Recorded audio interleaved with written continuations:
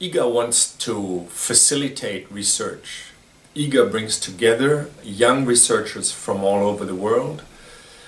Um, they should come with their own research ideas um, and we would look how we can improve them, how we can connect them to the ideas other researchers have. So EEGA is at its best if it's working together, if it's bringing together people in their joint research interests.